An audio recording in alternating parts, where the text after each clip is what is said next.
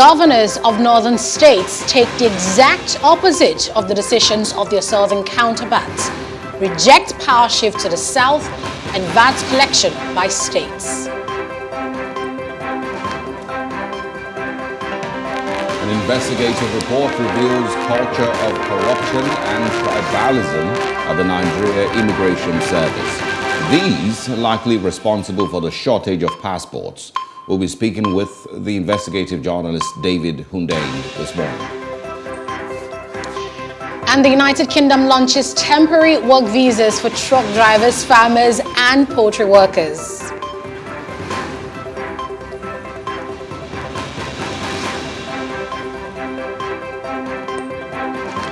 Welcome to the breakfast on Plus TV Africa. It's a really good day today um, for most people around the world, and we'll share more details about that um, on our top trending. Welcome again to the breakfast. I am Aneta Felix. And I am Osarogie Ogbonmwan. Welcome to the second uh, well, episode of the week, Tuesday morning. We hope that it goes as smooth as uh, can possibly be. Mm. Good morning. Good morning. Um, while we wait for that good news regarding, you know, that global story I mentioned, let's start from home, Nigeria. Um, we know the stance southern governors had, have taken regarding VAT collection and, you know, the open grazing laws and all of that. And um, we've been looking to the northern governors to come together, have their own meeting, and let us know what they think. Let's see if we're finding an alignment of voices regarding these issues. Um, so they met yesterday, the Northern Governors Forum met yesterday, and uh, it was in Kaduna. And um, some of the outcomes of their decision was one, that they were against zoning to the south, which lots of people have been clamoring for. Uh, we have agitations from the indigenous people of Biafra, there are agitations um, from the, um, the, the, south as well regarding um, Sunday Igboho, agitations for Yoruba Nation, Afenifere agitating as well. And people have been saying maybe zoning to the south would solve all of this. But the northern governors rejected this blatantly. Um, chairman of, of, the forum and, go and governor of Plateau State, Simon Lalong, issued a statement after the meeting. Let's re read that out for you. He said that um, the statement to zone power to the south is a contradiction to the provisions of Nigeria's constitution. He said that according to the constitution, Nigeria's elected president will score the majority of votes you know, in at least 25% of votes cast in two or three states of the federation, and not that, you know, the president should be from a particular region. It's the president should be someone who wins the election, you know, with the majority of votes. I'm speaking also regarding the value-added tax controversy. He said that VAT is being confused as state by the state government as sales tax. He also said that if states enact their own VAT laws, multiple taxation will result and there will be increase in prices of goods and services and there will be collapse in interstate trade. Um, Simon Lalong also said that VAT is not production tax and that um, there's also a confusion regarding the overall effect of tax and that when people have been saying, oh, southern states generate so much and then northern states generate little and get, get a lot, he's explaining that the reason for this is that Lagos accounts for over 50% of VAT collection because most telecommunication companies, banks, manufacturing, and other trading activities have their headquarters in Lagos. And that's the simple reason why. You know, he also mentioned that unless the Supreme Court um, pronounces judgment on this substantive matter between the River State government and the federal government, the matter is sub judice and that the Northern State Government Governors Forum would respect that. So it's basically now two sides, Northern governors on VAT and zoning, as well as, an, as the Southern governors on VAT and zoning. Sorry, Gabe. Uh, well, uh, so you know, I've, I've always not, um, I've always wanted, you know, the conversation on value-added tax to not be a north versus south thing. You know, it's really about the viability of states, and that's really where the conversation should be. But unfortunately, with Nigerian politics, they always would bring in the you know regional you know angles to some of all of these things that really should be about viability of states. Sadly, a lot of these northern states really are not viable if we're being honest with ourselves. And you know, with regards to creating value, um, you know, a lot of them have not been able to also understand that it is about the value you've been able to create in your state that should increase the amount of value-added tax that um, you know you, you pay. And you know, the argument that you know there'll be multiple taxation really doesn't work. But of course, they will put all those things forward to you know um, create you know um, you know a narrative you know for their stance. Um, I would move away from value-added taxes. We've spoken about that too much. The conversation concerning North uh, versus south with regards, um, you know, zoning. I've said it over and over that politics really has always been a game of interest, and not just here in Nigeria. And so the northern governors and whoever else, you know, is taking a stance based on their own interests and what they think that they would benefit. Um, a few years ago, these same people would have said, oh, it's time for the North to rule. But now that it seems like that may not be coming their way anymore, you know, they obviously would take a totally different stance, a totally different narrative. A lot of those people who are having this argument, you know, would have argued a few years ago, 2019, 2015, that it was time for the North. But now they suddenly do not agree that it has anything to do with zoning or have anything to do with federal character. It is now based on what the Constitution says. Um, which of course, you know, you can basically read between the lines and see the reasons they're putting out these um, narratives. Um, it's always about interest and what they think they can benefit. Sadly, there are, you know, some PDP governors in, you know, these uh, northern, I think the, the, northern states have about five PDP governors. The, you know, majority of PDP governors are in the south, and they've not been able to convince their PDP governors in the north to, you know, take a totally different stance. So you think so it sh it sh there should be aligned along um, the lines of their party? Yeah, it, it would eventually fall down to parties, and you know, and, and uh, it's one thing that you've seen lately that people have you know, most of the comments that I've seen, a lot of people would say that they don't care what political party it is. You know, as long as that uh, the candidate is from the South, that's where they are voting. And that's most of the narrative that, that I've seen on social media. They're voting any candidate from the South, um, regardless of what, what, political party. And if the PDP decides to pick a Northern candidate, they've lost their vote. I've, I've seen those comments come, you know, every now and then. Um, but that's, you know, a, a new angle to it. The big question for me, really, and I think that's what everyone should be really focused on is, why is there that seeming phobia for a northern candidate in 2023? And I feel it's really because of the way the last eight years, well, in 2023, has been run. And the way President Muhammadu Buhari has, you know, run the country in the last eight, you know, years, in 2023, eight years.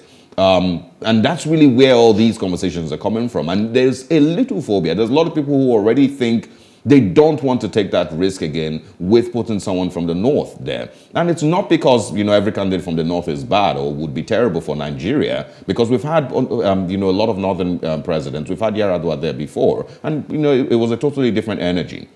But the way that the current administration has run Nigeria, that's where all this energy is coming from and this phobia is coming from. And now northern governors suddenly remember that there is a constitution mm. and it has to do with 25% and whatnot, you know, mm -hmm. that they're saying. But most of the conversations, you know, that I have seen have said simply that whoever it is that presents a Southern candidate, that's who they are voting for. They don't care what party it is. Um, you know, I've, I've, also seen people who say that they don't, you know, the APC will never get their votes regardless of whether it's a North or West mm. or East or, or Middle Belt candidate that they put forward. But um, that's where all these conversations are coming from. The Northern governors also finally should realize that the most important thing, the place, the same place that they had this meeting yesterday in Kaduna, lost about 50 lives in the last 48 hours to, you know, banditry and, and, and, and I'm sorry, uh, Boko Haram and whatever. You know, there's videos and pictures of people who were murdered, dozens of people. That same state is where they're having discussions on you know, whether it's a northern candidate or southern mm. candidate in 2023. What is most important to the Kaduna State governor now should be Bethel High School. It should be the people who have been killed in his state. It should be protecting life and property in his state.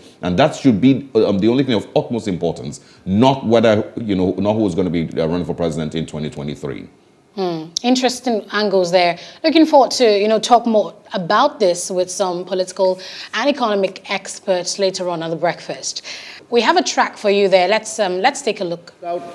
With a view to promoting unity and peace in the nation, notwithstanding their comments, the forum unanimously condemned the statement by the Southern Governors Forum that the presidency must go to the South. The statement is quite contradictory with the provision of the Constitution of the Federal Republic of Nigeria 1999 as amended that the elected president shall score the majority votes, he score at least 25% of the votes cast in two-third states of the Federation. C, in the case of run-up, simple majority win the will win the election.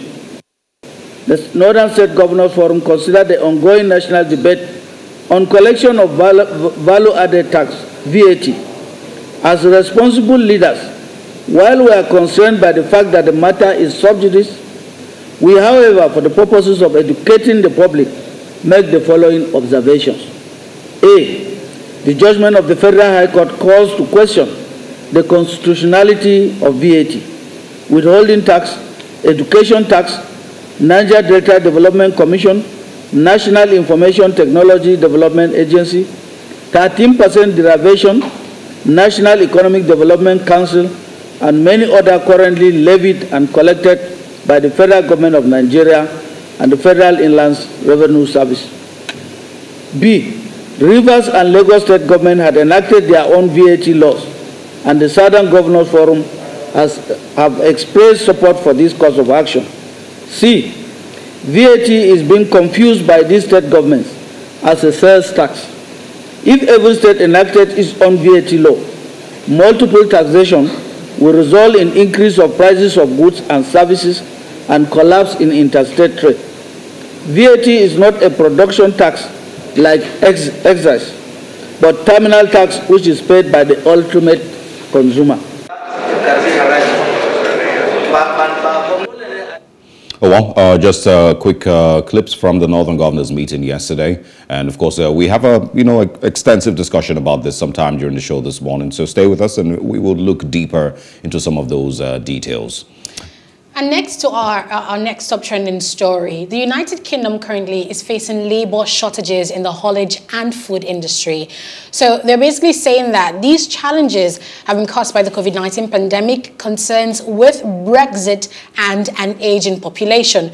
So right now, um, the UK says, um, this is definitely from a logistics company in the UK, that the UK needs about 90,000 truck drivers.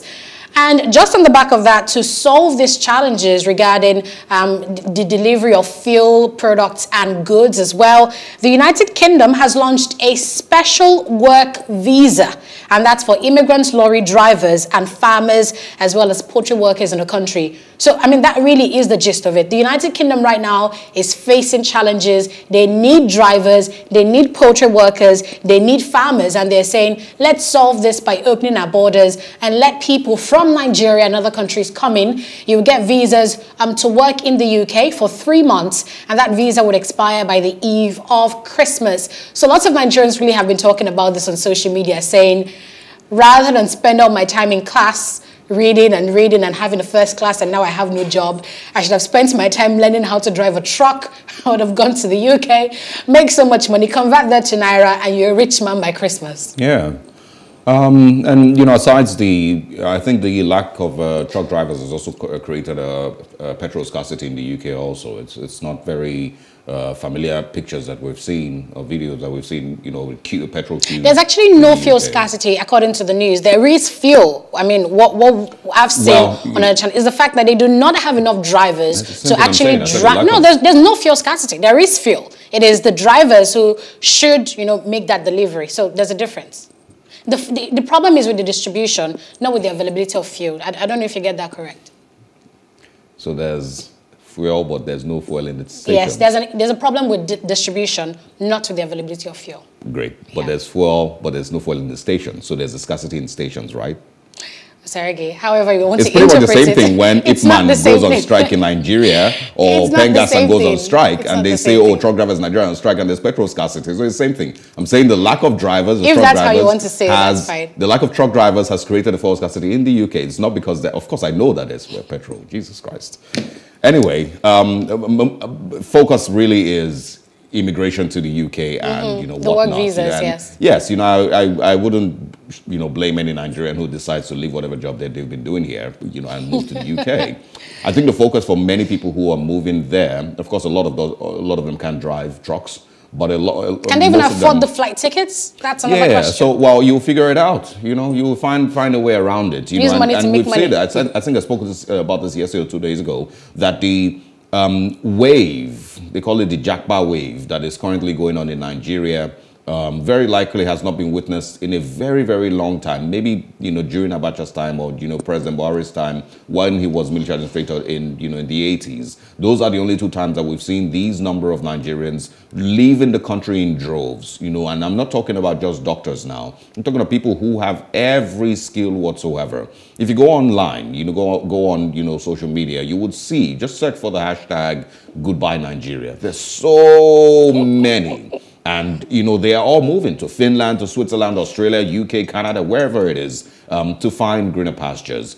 Um, they are not 100% sure what it exactly would be like, but at least it gives them a chance of, you know, some hope that things will be better when they get there. So, um, yes, the UK would have its own struggles. Um, and you know somehow somewhere i'm sure the government will be able to balance things out they would also have to find their footing again after brexit they would have to you know renegotiate a lot of you know decisions that they've taken i, I believe um, but you know it will, you know, and I'm sure that they will be able to populate. They're talking about 10,000 and even more truck drivers and drivers in every other you know uh, manual space like that. So they would be able to fill up that space. There's many, many, many, many people from different countries that are trying to get into the UK. Hmm. Um, I just don't know what happens next. And like you said, the, the visa expires, you know, in, just before Christmas. Um, I don't know what happens next, if most of those people will come back or not, um, or they would be there. But, and, but, but we know that the UK would definitely take serious measures to make sure these people are properly documented and they can find and track, tra track them. But we know Nigerians, and we know people who have even gone to the Olympics and never came back. Yeah, so there's, there's been stories like that. So it just means that um, with these tens of thousands of, of Nigerians and other um, immigrants who will be coming into the UK, not all of them might come back at the eve well, of Christmas. No, I'm sure they're, they're well. anyway, um, it's, it's, it's an interesting time across the world, you mm. know, and you know, I'm, I'm sure that the United Kingdom itself will be able to figure this out. You know, and it's also a great opportunity. Mm -hmm. um, it, it, let's also quickly note that it's not just drug drivers. You know, there's many fields, um, even in healthcare, that are seriously lacking in the UK that will be populated. I saw a picture um, two days ago, I think on Twitter, where a person said, um, took a picture, you know, in a healthcare facility in the UK that mm -hmm. had mm-hmm. about seven Nigerian nurses um, that had moved in wow. sometime this year, wow. yes, and they were all working. Um, and he himself was surrounded by all seven of them. So it's it's it's a, it's an interesting time to see how much people would um, take advantage of this time and relocate and leave Nigeria. Hmm. So our next top trending story, um, you know, goes back to what I mentioned earlier. You know, the fact that lots of women really have seen what's happened um, in the U.S. right now as a victory regarding justice. Um, R. Kelly, R&B singer, has been facing charges of, you know, sexual assault, sex trafficking, racketeering, and all of that. And yesterday, after about a nine-hour debate, jurors said they found him guilty of one count of racketeering and about eight counts, you know, of violating the Mann Act, which is an act in the U.S that's against sex um, trafficking. So they basically said that um, R. Kelly was found guilty of running an enterprise through which he exploited his power and his time to prey on underage girls, young women, and at least two male victims. Um, he should be sentenced by May 4th, 2022. And um, the U.S. attorney in, in the District of New York said that um, the verdict of yesterday forever brands R. Kelly as a predator who used his fame and his fortune to, to prey on the young, on the vulnerable, and on the voiceless for his own sexual gratification. They basically went on and on to say that he ensnared girls in a web of sex, abuse, exploitation, and humiliation, and commended the girls for their bravery in coming out to speak, you know, about this and to share their stories. Even though at first, you know, people didn't believe some of these girls when you come out to say R. Kelly sexually harassed them or all of that. But finally, years later, it's all been brought to the table, and R. Kelly has been found guilty of sex trafficking. Good luck to him. His lawyer, um, in an interview yesterday, was saying that he was going to appeal. Um, you know, but I, I don't think it, there's any way on earth except maybe through maybe death is the only way that R. Kelly will, you know, evade jail. Mm. Um, and I, I'm, I'm, very, I'm talking about jail for a very, very long time, if not, if not life imprisonment, but jail for at least 30, 50 years. Um, there's no way that he's going to evade any of that because, of course, the he has court cases in many other states, not just you know the one that we're speaking about now. There's other states that he's been accused of the same, you know, similar crimes. Um, and, you know, I think we've said it here before that, you know, no matter how big or how popular you are, it's just one tiny mistake here that when you lose control of yourself that eventually ruins that career. Um, pretty much the same thing almost happened to Bill Cosby, but obviously there's a very, very far cry from the Bill Cosby case, you know, to our, the R. Kelly case. R. Kelly's case is you know, con is concerning dozens of girls, you know, from, you know, when he was just a rising, you know, star back then. Um, and you, like you mentioned, is it also includes uh, males. Um, and so he basically ran a very, very dirty, dirty, dirty life as a, a career, an abusive life as a, as a superstar. Um, there's no difference really between him and um, Epstein, or what's his name? The, uh, the Jeffrey Epstein, yeah. Really not different. The only difference is that one is white and one is black. But he really will never in any way evade jail. And, and mm. it's, it's definitely victory for every person who, who um, had to suffer you know, from his atrocities. And Aaliyah himself, herself, who was one of the most popular also, who, mm -hmm. who he got married to when she was just 15. And so they were very likely already um, he was abusing her sexually, you know, um, and eventually got to marry her at that age. Falsified records, bribed some officials to, and, and you know, to get her married at that age. So, good luck to him. He's going to be somebody's wife in jail, obviously. You should enjoy it. oh my, wicked. All right, those are our top trending stories this morning. And we'll take a break here and return with Off the Press. Um, um, across the papers, we're seeing the issue between the North and South regarding power shift for 2023. More on that after the break.